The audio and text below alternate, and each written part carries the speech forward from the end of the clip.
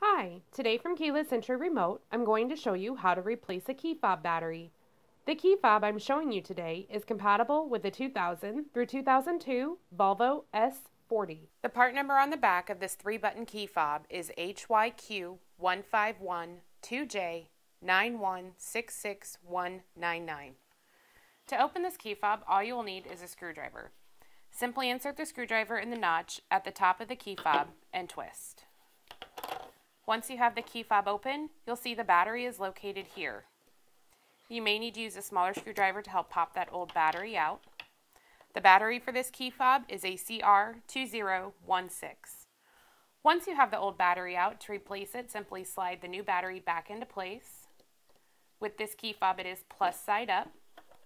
Once you have the new battery back in, all you need to do is snap the key fob back together and you're done.